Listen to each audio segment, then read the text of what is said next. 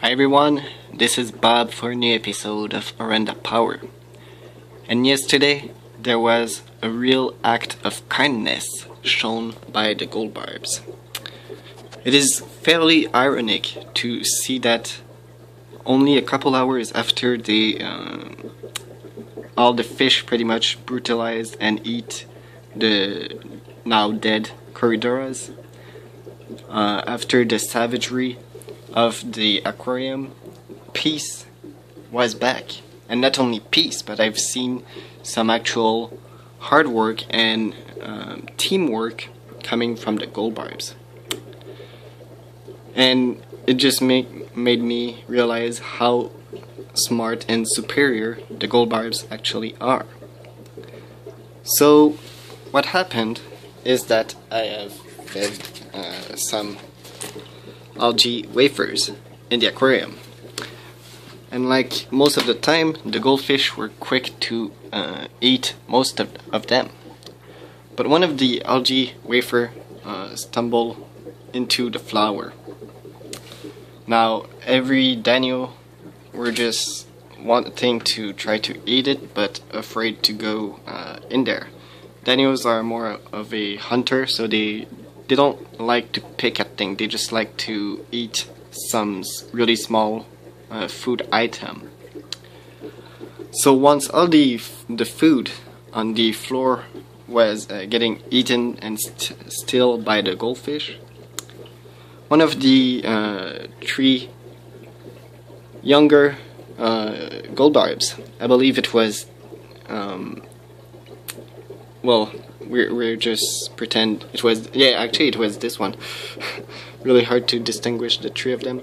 But this one um, was observing the Danios and he realized quite quickly that there was some food in the flower um, most of the fish when they find food they will just keep it for themselves.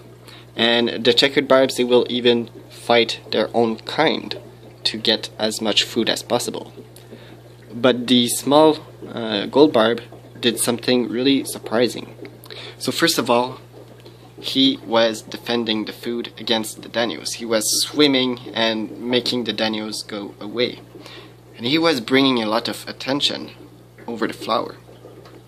Then I saw him literally go all over the aquarium and seek the attention of other member of the gold barb uh, clan. And I was wondering uh, what was the purpose of this.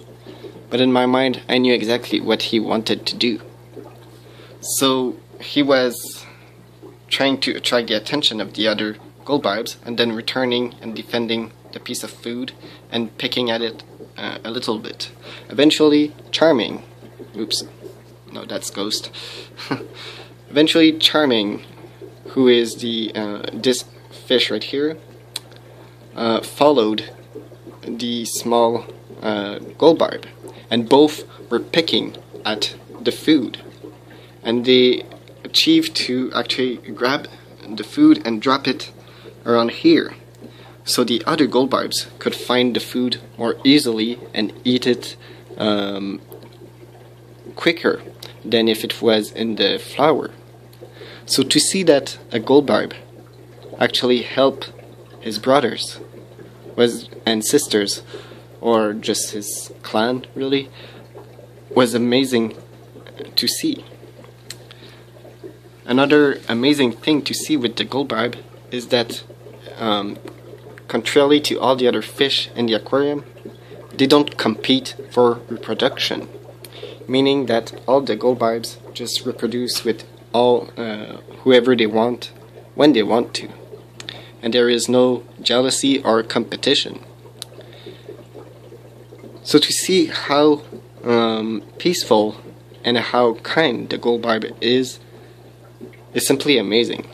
Especially when you compare them, for example, to the Danios. You see that the Danios are swimming together, right? But the Danios always seem to chase each other's and to try to find out who is the dominant one and who is the Omega. The Danios are pretty much like uh, piranhas. meaning that they school together not because they like each other, but because it is a better strategy to survive. So they literally just school together to survive. And it's even worse with the checkered barbs. The checkered barbs uh, rarely regroup together as the gold barb do. The females and the males will actually chase each other all the time, trying to get the best territory.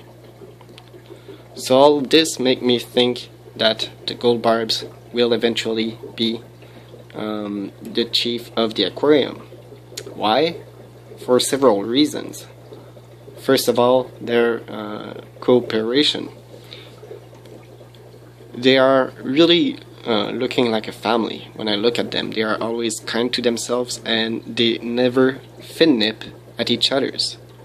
They are always just swimming peacefully, just like my two goldfish do which is really strange, especially for small fish. Usually, small fish will have a strong pecking order where um, everyone just eventually chase each other's. If we look at the Danios, we will eventually see uh, this behavior, and it will not take too much time. Um, just wait for it. uh, but yeah, basically, the uh, gold barbs weren't fighting for the food, they were actually helping each other's. Which made me realize how um, powerful and smart the gold barbs are. Also, um, Tywin, which is this uh, bigger female, used to be um, swimming around the Danios I think uh, that fish got the strategy that uh, it is easier to pick up the food if you're closer to the surface. But uh, and I and I thought he was doing so to uh, eventually outcompete all of the other fish uh, in his school, and to then be the dominant female. But apparently, it wasn't the case because now uh, I think she have actually uh, taught her strategy to another one of the gold barb, which was uh, the small male that have found the food. So basically, by uh, doing this teamwork and kindness, the gold barbs are able to eventually overcome all the difficulties of this aquarium, and this is why I definitely want to keep them. Instead of uh, fighting for the survival of the individual and always competing against not only the other fish but uh, themselves, the gold barbs have learned that pride isn't the way um, to achieve the greatest things.